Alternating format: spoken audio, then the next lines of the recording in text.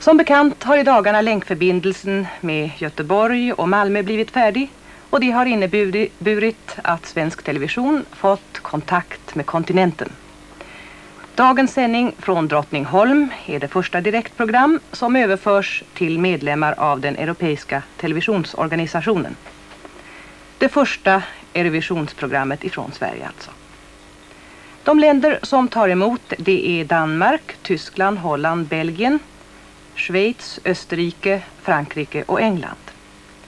Det är alltså 30-40 miljoner människor som har möjlighet att följa vår opera i Drottningholm idag.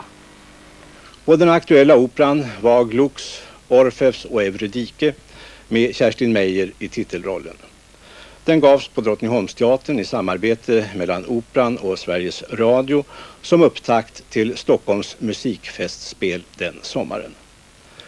Åtta länder hade anmält intresse att ta emot sändningen och hade skickat kommentatorer som var och en på sitt språk skulle berätta om vad som tilldrog sig. Producent var Arne Arnbom, vår framstående musikproducent som ett par tre år senare skulle vinna Prix Italia och som allt för tidigt gick bort 1975. Efter Jeanette von Heidenstams påannons så följde en liten kortfilm av Bo Bjelvenstam, en presentation av själva teatern. Eh, den ska vi inte tala om här nu, men däremot så ska vi som avslutning på programmet visa ett par minuter av själva operans upptakt. Vi kan göra det därför att eh, den här första televisionssändningen, så direktsänd den än var, eh, ändå finns bevarad i vårt arkiv i form av en så kallad telefilm. Det vill säga vi, vi filmade av en tv-monitor helt enkelt. Kvaliteten är långt ifrån god men eh, ändå är det ett värdefullt dokument. Alltså till Drottningholmsteatern den där söndags eftermiddagen den 1 juni 1958.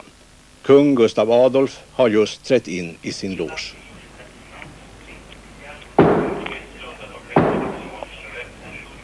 Och nu väntar vi bara på dirigenten Albert Wolf som strax ska höja taktpinnen.